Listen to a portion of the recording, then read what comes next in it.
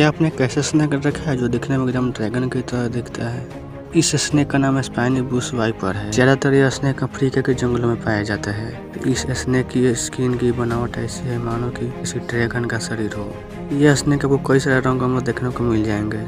यह स्नेक काफ़ी जहरीला होता है। यह स्नेक यदि किसी को काट ले तो यदि उसको तुरंत डॉक्टर के पास नहीं ले गया गया तो वह मर भी सकता है। इसके खाने की बात करें तो यह ज़्यादातर छोटे मेमल और छिपकली को अपना शिकार बनाता है। और आपको हर ड्रैगन जैसे दिखने वाला स्नेक कैसा लगा कमेंट सेक्शन में ज़रूर बताइएगा। और ऐसे वीडियो के लिए हमारे चैनल को सब्सक्राइब करना ना भूलें।